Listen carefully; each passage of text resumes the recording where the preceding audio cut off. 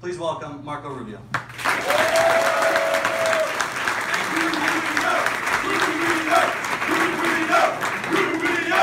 Thank you. That's better than Marco because then people say Polo. It's really annoying. First of all, it's really great to be in a. I don't often get to speak in a room that has a DJ booth, so it's good to. And I'm really great. It's great to be with all of you, and in particular, great to be with uh, the future of America, which is what all of you represent. Uh, all of you represent, but especially the students that attend here. And I'm going to try to be brief because I know you got to get back to studying or yeah, whatever it is you're doing. And uh, but um, but it's great to be with you in this in this uh, lead up to this important election. You're very fortunate whether you're from Iowa or you live somewhere else and you're here now. You're very fortunate to be in a state that's going to begin the process of choosing the next president. What I hope to do over the next 15 or 12 minutes is not just convince you that I'm the right person for the job, but to convince you to participate in it. Because this election is not just a normal election. We will choose the next president, and that's important. But this election actually has turned into a referendum about our identity as a people and as a nation. Because you and I share a very uncertain time. You see, uh, when I was your age, gosh, I can't believe I'm saying that. When I was your age, the economy we lived in was very different. The world I grew up in is very different than the world that exists now. Economically, it was a different place. We didn't have a global economy. America was one of the few places on earth where anyone would dare do business. And so when that existed, it wasn't a good idea to have taxes that were too high or regulations that were too burdensome or a government that was too big. It wasn't a good idea, but we could get away with some of it because there just weren't that many places in the world where you could open up a business. We were it. That isn't the case anymore. We now live in an economy that is a global one. We have to compete with, partner with, collaborate with, trade with, sell to, and buy from people all over the world. The economy that you will inherit when you leave school is an economy very different than the one I grew up in. It's an economy where your business partners, your clients, your customers, your collaborators, and your competitors are just as likely to live halfway around the world as they do halfway across town. The second thing that's different about this economy is it's driven by innovation. It used to be that you came up with a great idea and it was still a great idea 10 years later. You come up with a great idea now and within two to three years someone came up with a better idea. That's how fast the pace of innovation has been. And the result of these two dramatic changes in our economy has been disruption. This always happens when there's an economic revolution, and that's what we're having. This is not just an economic downturn, this is a massive restructuring of our economy. And every time that's happened, it's been really disruptive. The Industrial Revolution was incredibly disruptive. The Industrial Revolution took millions of people out of farms and put them into factories. It took millions of people out of the countryside and put them into cities, and it was disrupted. It wiped out industries. Industries that had existed for hundreds of years were gone. Jobs that had existed for hundreds of years were gone. And it was disruptive. But it also created new industries and new jobs. And the new industries that it created made more money than the old industries. The new jobs it created paid more than the old jobs. But it was a, a challenge. And we're grateful they went through that challenge. Because that industrial revolution changed the world. In many ways, it's what allowed America to win the Second World War. We were able to mass produce things, but it was not easy. Well, what we are living through now is like the Industrial Revolution, except it's not going to happen over the next 50 to 100 years. It's happening in increments of three to five years. And if you don't believe me, go back in your journals, diaries, or old emails, and you will find things you were talking about five or three years ago that don't even exist anymore. They've been replaced by something else. You want to know how fast the world is changing? Think about it this way. I've said this before. When they invented the telephone, that was an enormous invention. It took 75 years for there to be 100 million people using telephones. It took Candy Crush one year to reach 100 million users. So that's how fast the world is changing. It's a global economy, it's rapidly evolving, and our government policies are from yesterday. We try to regulate these new industries as if they were old industries. We have government policies that are completely outdated. We have a retirement system in America that was designed in the 1930s. We have a higher education system that was designed in the 1950s. We have energy policies from the 1970s. We have anti-poverty programs that don't cure poverty, that were designed in the 1960s. All of our policies are outdated, and so are many of our leaders. Too many of the people that are making decisions for this country do not understand the 21st century. They approach 21st century issues with 20th century ideas and 20th century concepts. And the result is people are being left behind. Now, I'm not here to tell you America isn't still a great country. It is still a great country. You know how I know that? Because the richest people in China buy American real estate. Because the richest people around the world send their children to our schools. We remain the greatest country in the world, but we are not fulfilling our potential. We could be doing so much better than what we're doing now, and we are being held back. Partially because of ideology and the mistakes of current leaders, but primarily because we have outdated policies from a time that came and went. One of the most important things that our next president must do is be a leader in modernizing American economic policies to reflect the 21st century. Policies that allow us to be globally competitive. Policies that allow us to be the most innovative place in the world now and for the foreseeable future. Policies that allow the American private sector not just to create new jobs, but jobs that pay more than the jobs that are being created now. It's not enough to just create jobs. You got to create jobs that pay more. We're not doing any of that right now. This is why I'm for tax reform. The tax reform debate used to be about ideology, more taxes, less taxes. Today it's about competitiveness. We can't compete with the global economy if we have the most expensive business taxes in the world. There are just too many other countries now that are fighting for us, fighting with us for that business. That's why every day when you open up a newspaper, another American company is moving its headquarters overseas. Because they can make more money over there than here. Here, we charge them the highest combined corporate tax rate in the world. And that tax rate is not making us money, it's costing us money. When they move these companies, they move thousands of jobs with them. We're the only developed economy on the planet that has a territorial, a worldwide system of taxation. You know what that means? If you're an American company and you make a million dollars in Europe, you have to pay the European taxes. But then if you bring that money back to create a job here for you, they got to pay taxes on that money a second time. No one's going to do that. So you know what they do instead? They leave their money in Europe. That money's parked in a bank account over there or being invested over there. You know how much money is that is? $2 trillion of American corporate profits is sitting overseas, being invested in another country or saved in another country, all because of this tax policy. You know what $2 trillion is? It is equivalent to the size of the entire Russian economy. That is what $2 trillion is. There is a role for regulations, by the way. None of us wants to drink poisonous water. None of us wants to eat unsafe food. None of us wants to take medicine that isn't what it says on the bottle. None of us want to fly in an airplane where the two people flying it are not really pilots, they just stayed at the Holiday Inn Express. So, there's a proper role for regulations, but what happens when regulations go too far? What happens when regulations make you as a business buy a $100,000 piece of equipment? That's $100,000 you can't use to hire people. That's a cost, it's like a tax. And we have regulations that are completely out of control. They add over a billion dollars a week of new regulatory costs. And no one is doing the cost benefit. What's the good of this regulation versus what's the cost of it to see if it makes sense? That's why I support a regulatory budget that caps how much regulations can cost our economy. So if they want to add a new regulation, they're going to have to cut an existing one. At least bring some balance to this process. By the way, you know who really loves these regulations? The big business and established industries. They love regulations because they use it as a weapon. I mean, a real life example is what's happening in the sharing economy. I've been talking about this for three years. You know what keeps Uber out of many economies in, in this country, a lot of many cities? An established industry, usually the taxi cab companies.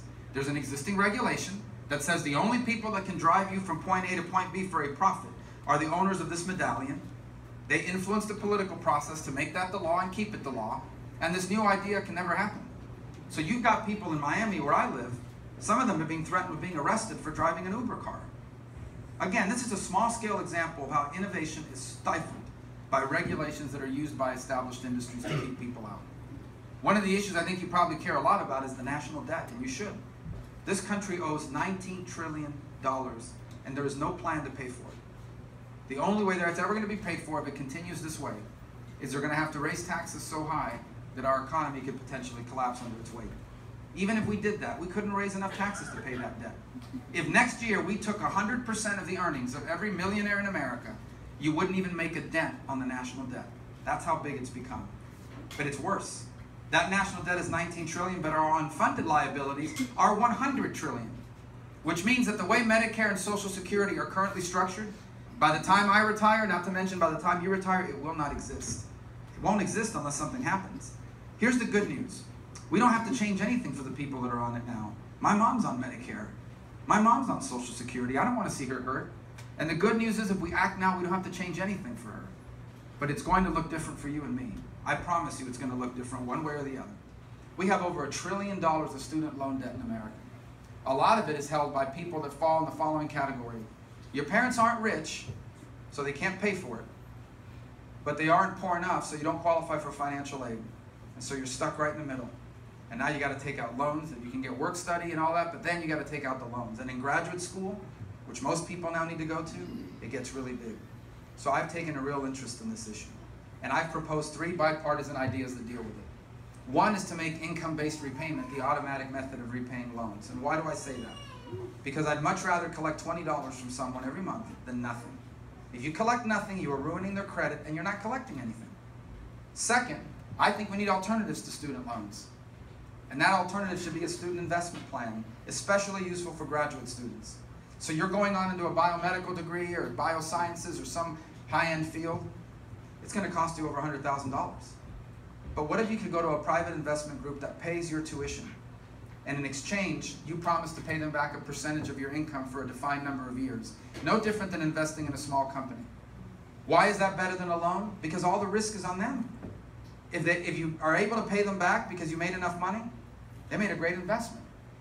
If you don't, you drop out, you go on to something else, and you never make the money, they, they made a bad investment. But it doesn't go on your credit rating. It's not one of those things that sticks with you, even if you declare bankruptcy. And for many students that go into graduate school, it is a better alternative than student loans.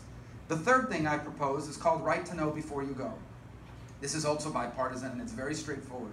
And what it says is that before you take out a student loan, no matter for what, community college, four-year degree, graduate school, the school has to tell you. This is how much people make when they graduate from our school with the degree that you're seeking. So you have some inf information about whether it's worth borrowing all of this money to pay for a degree that may not lead to a job. Now, in my case, I've majored in poli-sci because I wanted to do something I had an interest in. I'd have a high enough GPA to go to college. I know poli-sci majors don't make a lot of money, at least not with a four-year degree. But I understood what my plan was. I'm not, we're not going to ban any majors, but at least people have information before they take out thousands of dollars that will be with you until you pay it off or until you die. In the alternative, what we are doing is we are locking people out. With a trillion dollars of student loan debt, a significant percentage of it already in default, you know what that means? Ruined credit ratings. And you know what that means? You can't start a business because no one will lend you money to start a business. You can't buy a home because no one will lend you money to start a home, to, to buy a home. You're stuck and have no idea how you're ever going to pay it off. If we can do these two things, I am telling you, this economy will take off. If we give our private sector what they need to succeed, and they give our people faster and cheaper access to the skills they need, we're not going to have an economic recovery. We're going to have an economic renaissance. There is no country in the world better prepared than ours for this 21st century economy. We are the most creative and innovative people on this planet. We are the hardest and most productive workers in the world. There's no nation on earth that can compete with us. And the good news about the new economy is it's not a zero-sum game. In essence, we can succeed and so can they in a world today that's increasingly dangerous. And it's not just ISIS, and I'll talk about that in a moment.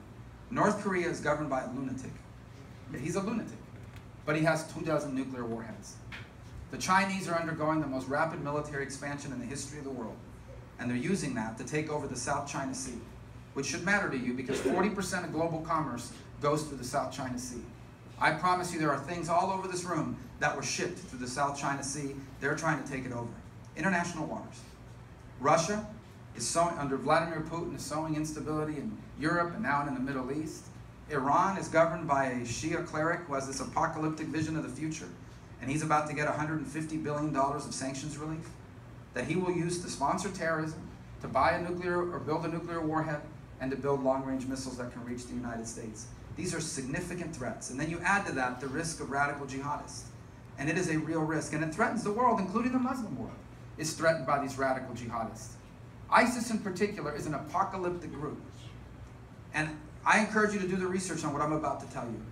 ISIS has a monthly publication that if you looked at it, you would say this thing was produced on Madison Avenue. This thing was made in an ad agency in New York.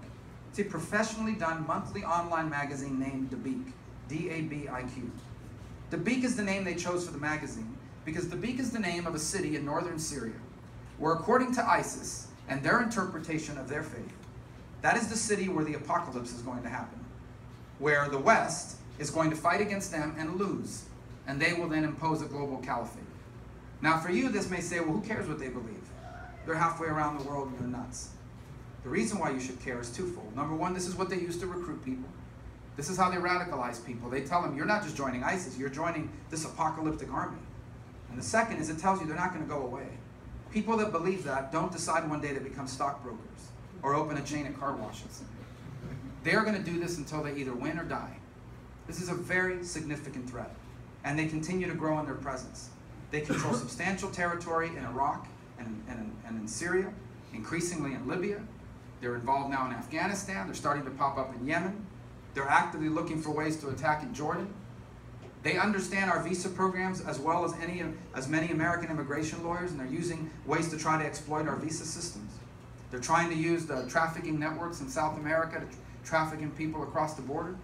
And they're trying to radicalize people here in the United States, including an individual who last week in California slaughtered 14 people and wounded 20 others in the biggest terrorism attack in America since 9 11. And that guy, of the two people, that guy is a U.S. citizen, born and raised in America, who somehow became radicalized and took action, building pipe bombs and killing people. This is a very dangerous situation we face, and it has to be confronted. And there are multiple ways we need to confront it. We need to know more about them and learn more about them. We need the cooperation of the Muslim community in the United States. They're going to see some of this radicalization first. We need to do all sorts of things, work with our allies in the region. But it all begins by having the capability to confront it. ISIS cannot be defeated simply with airstrikes. In fact, no war can simply be won with airstrikes. They're going to have to be confronted on the ground. And we're going to have to participate. Now, the bulk of that force is going to have to be local forces. It's going to take Sunni Arabs themselves to defeat them. Why? Because we need them to reject them ideologically, but also because the territory we're trying to claim back from ISIS is Sunni territory. The Kurds are phenomenal. They're doing a great job of holding Kurdish territory.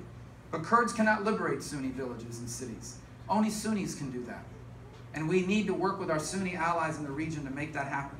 And we'll participate. We'll increase airstrikes. We'll put special operation forces alongside them to improve those airstrikes and help with training and logistics and special operations. But the bulk of the fight has to be local forces. And we should expect more from Saudi Arabia and Egypt and Jordan and the UAE and the Gulf kingdoms, oil-rich countries that have the money and the men to fight this war and to defeat ISIS. But it will take American global leadership, and we have no choice. This is not an issue that will go away on its own.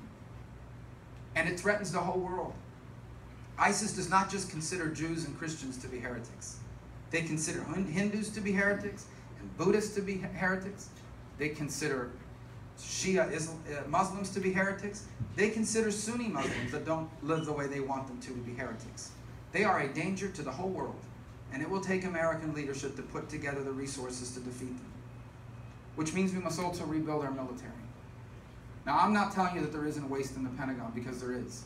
And every dollar that's wasted in the Pentagon is a dollar that isn't defending you. We have a civilian workforce at the Defense Department that's too big. We, have, we spend way too much on buying things like computers. We pay a lot more than you would ever pay, and a lot more than a business would ever pay. These things have to be fixed. I am telling you, we do not have a trillion dollars of waste, and that's what's going to be cut over the next 10 years. And the implications of those cuts is the following. If we go through with those cuts, we are going to have the smallest and the oldest Air Force we have ever had. We are going to have the smallest and oldest Navy we have ever had. And we are going to have an Army that's already too small being reduced by another 40,000 positions. It makes no sense to me that in the face of all these growing dangers I've just outlined, that we reduce our capabilities to confront them. And the last point, and one of the greatest lessons of history, is if you truly want peace, then you must have the strength to protect that peace. Nothing is a bigger enemy of peace than weakness. It invites miscalculation. I encourage you to look at the lessons of history. Each and every time that these sorts of movements have taken traction in the world, it has been taking advantage of weakness, both military and moral. We should also, by the way, be engaged in the world. I always end up, uh, I hope that this generation of Americans remains as idealistic as those that came before you. Because a lot of times people say, well, cut foreign aid. Foreign aid is less than 1% of our budget. But foreign aid can make a difference when properly used. And if you ever have a chance, travel to the African continent. And you will meet people who are alive today because the American taxpayer funded antiviral HIV medications that kept them alive. It will not be easy to radicalize people who are alive because the American taxpayer saved their lives and the lives of their children. Are we still a country where people can do for their children what my parents did for me? what your parents did for you? If we are, then the greatest era in American history is before us. And if we are not, then we will be guilty of losing the most exceptional nation that has ever existed. That is the choice in this election. That's why your participation is so important. You are not just choosing a president, you are choosing a future. You are choosing an identity. You are being asked to choose what kind of country do you want America to be. And I am telling you, it can be greater than it's ever been if we do what needs to be done now. If we do what needs to be done, the American dream that changed the world and my life and yours, that American dream won't just survive. We can make it reach more people and change more lives than ever before. And the 21st century will not just be as good as the 20th century, it will be better. It will be the theme of my campaign, a new American century. So I hope I can encourage you not just to turn out and caucus, but to do so for me, because together you and I can be the authors of the greatest chapter in the amazing story of the greatest country in the history of all mankind. Thank you and God bless you. Thanks for having me. Good luck tonight. Just, uh,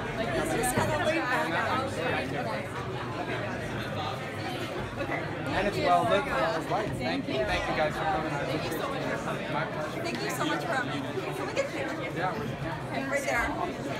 Where to go? Back up, sorry. Thank you Thank you so much. Thank you. Thanks. Can